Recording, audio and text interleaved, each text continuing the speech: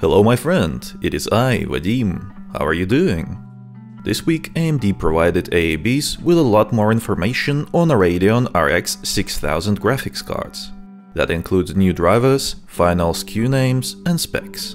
It means that a lot more of that ended up leaking, and that is exactly what we will be looking at today.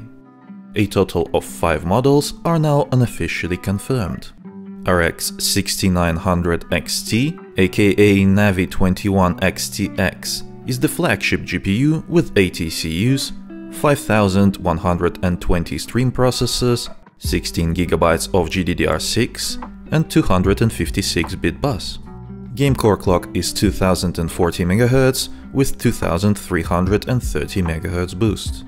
RX 6800 XT, aka Navi 21 XT, will have 72 CUs, 4608 stream processors, 16GB of GDDR6 memory across a 256-bit bus. Game core clock is 2015 MHz with 2250 MHz boost. RX 6800 aka Navi 21 XL will feature 64 CUs, 4096 stream processors, 16GB of GDDR6 and a 256-bit memory bus. Core speed is lower. Game core clock is 1815 MHz with a 2105 MHz boost. All of the above GPUs will be revealed on October 28th.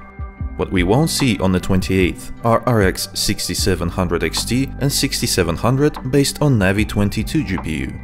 However, AMD plans to launch them in January.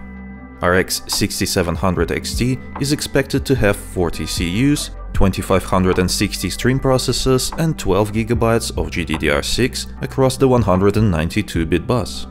It looks like more Big Navi information will be leaked in the coming week, so stay tuned.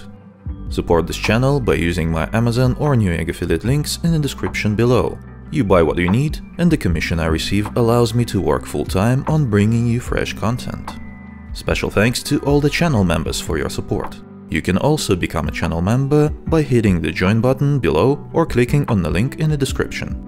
That is all for now, I would love to hear your thoughts in the comments below, and while you're there, hit the like button, subscribe for more, and click on the bell icon to enable notifications.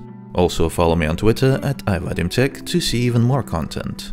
It was I, Vadim, thank you for watching and have a great day.